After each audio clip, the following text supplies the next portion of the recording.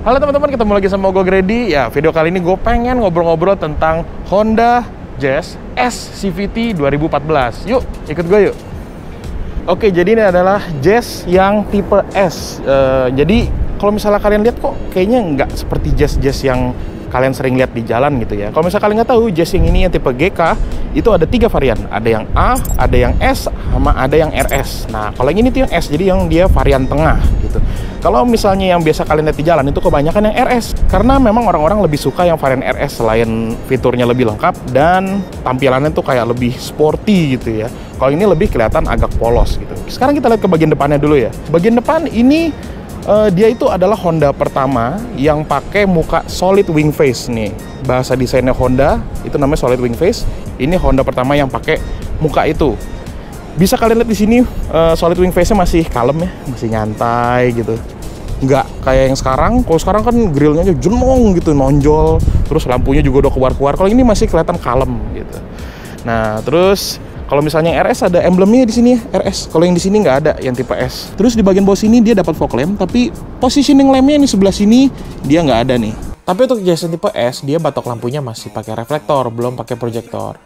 Terus sekarang kita lihat ke bagian peleknya, ini dia e, bentuknya gini ya, kelihatan lebih simpel, ukurannya juga lebih kecil daripada yang RS. Warnanya juga single tone, silver doang.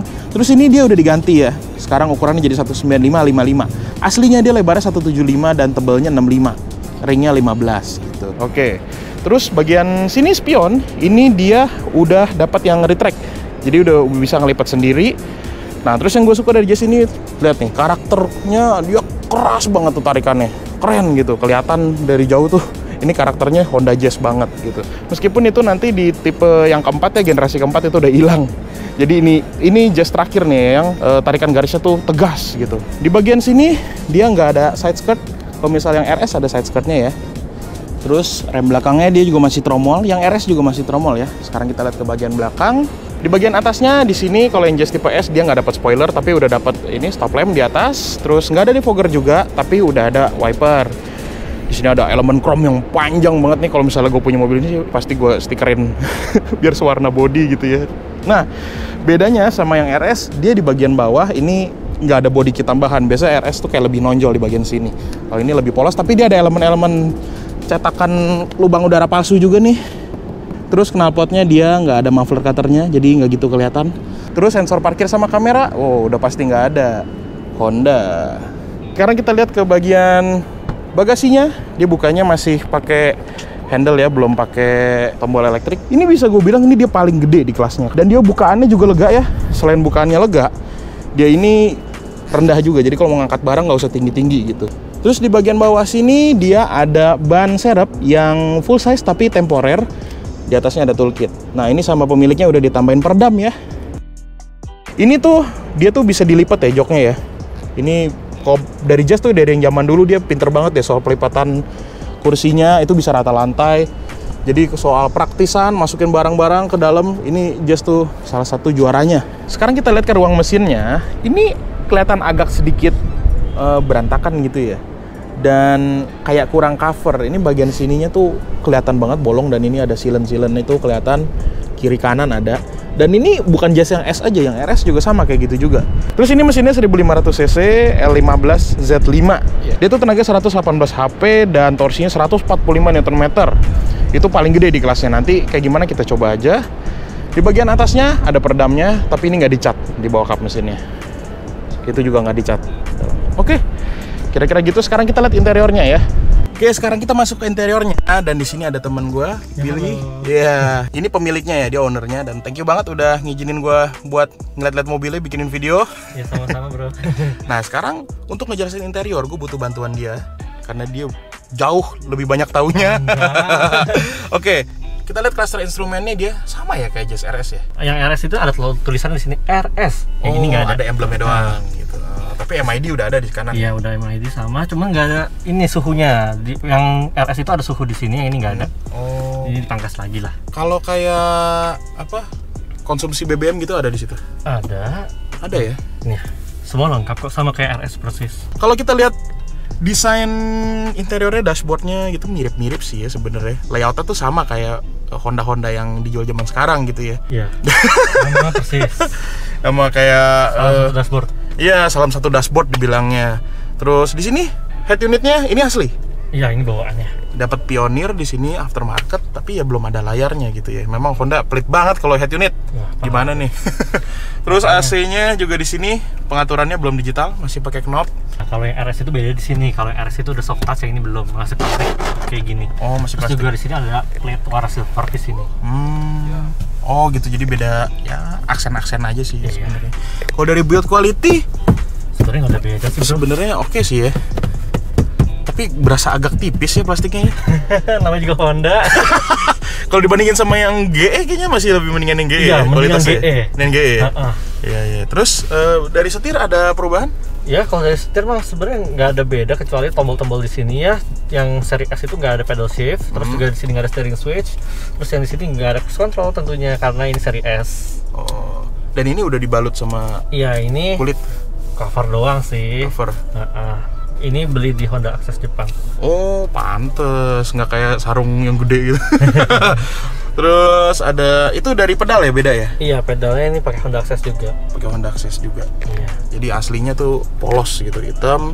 Start stop buttonnya belum Terus ada. button nggak ada, terus juga paling defogger belakang nggak ada. Ini masih tabula di sini. Oh, defogger. Heeh, terus juga transmisinya kalau yang RS cuma sampai S nggak ada gigi L. Oh, nggak ada gigi L-nya Iya. gitu.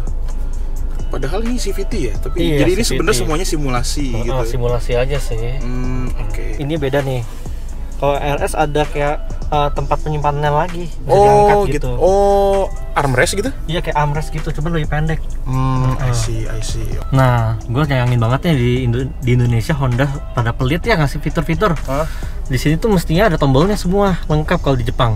Oh. Yang sebelah sini itu tuh buat parking sensor. Mestinya tuh integrated di sini ada tombolnya. Oh, gitu. Heeh, malah ada lampunya di sini, ada indikatornya. Terus sebelahnya tuh ada vehicle stability control di sini nggak mungkin ada lah ya disunat terus. terus yang di, yang sebelah sini tuh karena di Indonesia nggak ada yang pakai Honda Sensing ya, Hmm. cuma mobil-mobil yang premiumnya aja. Iya. Di Jepang mobil yang kayak Jazz begini juga udah ada mestinya. Oh. Heeh, yang di sini itu yang sebelah kanan itu yang buat lane departure warning, yang yang di sini tuh auto braking. Oh. Heeh. Jadi sebenarnya fiturnya mobil banyak banget ya di Iya Jepang ya. mestinya, cuman ya dipangkas-pangkas. Hmm, padahal harganya tetap mahal juga di sini. Iya. Murah juga sih. Dasar Honda. gitu. Oke, bagian depan kayak gitu aja. Sekarang kita langsung lihat bagian belakangnya Oke ya. siap. Yuk. Nah, sekarang kita omongin bagian belakangnya ya. Baris keduanya. Nah, menurut gue ya, si Jazz ini tuh dari dulu dia tuh yang paling lega urusan baris kedua. Ini paling nyaman. Jadi kakinya tuh space kaki masih lega. Ini tadi posisi duduk gue ya. Tadi kan gue duduk di sini. Tuh, posisinya lega. Terus senderannya sebenarnya dia bisa di recline, tapi nggak banyak-banyak ya. Cuman dua step doang. Tapi ini dia bisa dilipat tuh kursinya. Tuh lipatannya juga pinter dia. Jadi bisa rata lantai. Kenapa bisa gitu? Honda itu jadi pinter banget dia manfaatin tangki bensin itu yang biasanya ada di bawah penumpang sini di bagian belakangnya itu dipindahin ke bagian bawah sini. Jadi mau ada di bagian tengah mobil. Itu jadi dia bisa maksimalin eh, ruang kabinnya tuh jadi selega mungkin gitu. Itu hebatnya Honda di situ memang. Di sini ada seatbelt buat penumpang yang duduknya di tengah. Terus di sebelah sini ini ada yang buat iketan kursi bayi. Ini Jazz yang GE yang sebelum ini belum ada ya fitur itu. Terus oh ya dia udah ada seatbeltnya udah ada head adjuster ya, jadi bisa diatur. Kursinya bahannya masih fabric ya, jadi belum pakai kulit. Di door trimnya dia eh, aksennya sih sebenarnya semua plastik, tapi di sini ada fabric sedikit. Dan di bagian bawah sini ada cup holder, jadi penumpang bagian belakang nggak dianaktirikan ya. Oke, sekarang kita langsung coba nyetir aja. Oke teman-teman, sekarang kita ngobrolin si Jazz ini sambil nyetir ya. Oke, jadi sebelumnya gue pengen info dulu kalau yang ini tuh udah generasi ketiga. Kalau misalnya di Jepang kan dia namanya Fit ya, Fit, F-I-T. Kalau Yaris tuh V-I-T-Z, Fits gitu. Atau kenapa ny- namanya mirip begitu. Dan Honda Fit ini, atau Honda Jazz itu memang dari dulu terkenal eh, poinnya kayaknya ada tiga ya, tiga. Fun to drive, kabinnya yang lega, sama praktis mobilnya. Ya, itu poinnya apakah masih dibawa sampai sekarang? Nah, sekarang kita ngomongin dulu dari rasa berkendaranya aja deh posisi duduknya ini kursinya empuk. Terus supportnya juga nggak mengganggu nih enak. Posisi duduk oke lah dan ini juga bisa diatur. Posisi ketinggiannya naik turun. Ini udah diatur yang paling rendah dan posisinya enak banget. Jadi kita kayak di bawah lebih dekat sama aspal gitu. Jadi rasanya lebih sporty. Dan posisi tangan ke setir ini juga enak. Pas. Dia kayak mobil sedan apalagi dia bisa diatur pengaturannya teleskopik dan tilt. Jadi bener-bener bisa disesuaikan sama selera kalian sama uh, postur tubuh kalian juga gitu. Yang gue suka itu dari Jazz tuh setirnya. Setirnya ini dia Honda banget sih. Jadi responnya tuh oke okay, akurasinya bagus feedbacknya sedikit kurang. Bobotnya bobotnya enteng tapi nggak keentengan gitu. Tuh ada Tesla ada Tesla ada Tesla lewat. Ya yeah. kalau misalnya ngomongin suspensi nih ya Jazz yang pertama kali yang yang GD sama yang GE yang sebelum ini itu terkenal sama suspensinya yang sangat keras gitu. Kalau yang di GK ini justru ini malah terasa lebih soft lebih lembut berasa lebih empuk lebih nyaman. Ya memang kalau orang-orang uh, apa ya fanatiknya Honda bilang oh ini karakter Hondanya hilang gitu ya. Tapi sebenarnya kalau buat dipakai harian enakan yang kayak begini lah. Kecuali kalian mau pakai balapan gitu baru deh pakai yang suspensinya gubrak-gubrak itu ya nggak masalah body rollnya sih memang berasa lebih sedikit eh, ini ya pantatnya lebih agak ngebuang gitu. Karena katanya itu juga sway barnya kalau yang GK5 itu dicabut ya stabilizernya itu.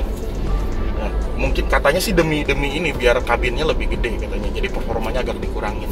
Dan engine-nya seperti yang tadi gue bilang dia tenaga 118 horsepower dan torsinya 145 Nm itu tergede di kelasnya. Sekarang kita coba aja di transmisi D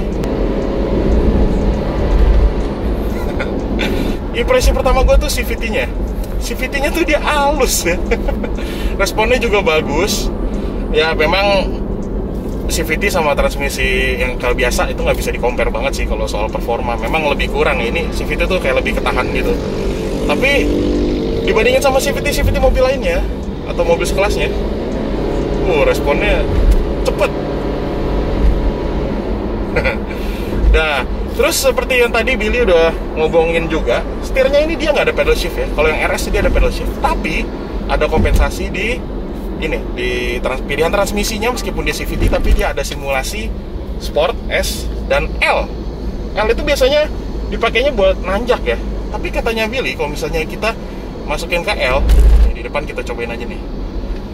Gue pindahin ke L dari S, RPM naik L, RPM-nya lebih naik lagi jadi 2500. Kita injek. Wih, jauh lebih narik, bener. kita pakai belok. Gila ini lebih nurut loh. Dan kebaca loh arah gerakannya loh. Oh iya iya iya gue ngerti gue ngerti. Meskipun performanya nggak seseru ya uh, jazz yang GE buat belok-belok gitu tapi GK ini menurut gue lebih forgiving buat dipakai harian lebih enak gitu. Kalau kita ngomongin kenyamanan kekedapan kabin gitu untungnya Billy ini udah pasangin peredam di samping di belakang di bagasi udah bawahnya sih belum. Kalau enggak ini peredaman kabinnya tuh ya Honda. Kalau misalnya sering nyobain mobil Honda pasti tahu kekedapan kabin mobil Honda itu uh, buruk. Ya even yang udah setengah M CRV gitu kekedapan kabinnya tuh buruk gitu. Nah ini juga sebenarnya udah ditambahin peredam tapi suara ban masih agak masuk suara kolong juga masih agak masuk. Nah terus mobil ini tuh udah berjalan 44.490 km uh, kerusakannya apa aja gitu ya? Mungkin yang banyak yang pengen tahu. Mungkin kita panggil si Billy-nya kali ya. Ya halo. Kerusakannya apa aja Bill ya sebenarnya so far sih dibilang rusak ya belum ada sih bro. Belum ada. Uh, uh, cuman ya kaki-kaki depan mungkin sudah sedikit bunyi-bunyi Gak sebagus waktu pas awal pakai. Itu kayaknya penyakitnya Honda banget iya ya? itu masuk hampir semua Honda. Dari dulu Honda CR-V Civic ya sama kayak gitu. Hmm. terus juga waktu terakhir pernah ngecek buat servis ini katanya steering racknya udah mulai kemakan umur. Oh iya ya iya. Cuma belum parah sih. Iya tapi ini nggak gitu berasa kalau iya. jalan rusak tuh nggak kan nggak gelodak gelodak uh, uh, masih gelodak gelodak banget kan ya. Oh. banyak soalnya yang kayak gitu juga. Memang masalahnya dia di iya. situ ya ya ya kaki kaki mainnya iya. mungkin yang orang-orang pengen tahu pajaknya berapa ini pajak progresif sih oh udah progresif uh, progresif kalau sekitar empat setengah ya Oh, pas setengah progresif. Iya. Kalau nggak progresif berarti ini pro, berapa tuh kira-kira? Kedua. Oh, ini kedua. Eh, berarti 3 jutaan berarti ya? harusnya 3,8 ya 3,8 juta. Mirip-mirip sih sama Yaris juga segituan sih. Tiga setengah ya terakhir gue bayar. oh ya Iya, gue tiga setengah. Hmm, lumayan banget, ini sakit setiap kali bayar Jadi menurut gue ya, Jazz GK ini tuh sebenarnya mobil yang di develop tuh dengan baik gitu. Fiturnya tuh sebenarnya banyak. Pinter banget engineer-nya tuh bisa ngedesain kabin yang lega, maksimal gitu. Meskipun mobilnya dimensinya kelihatan lebih kecil dari luar gitu ya. Tapi sayangnya pas masuk ke Indonesia ini tuh berasa banget fiturnya dipotong gitu loh. Sayang banget gitu.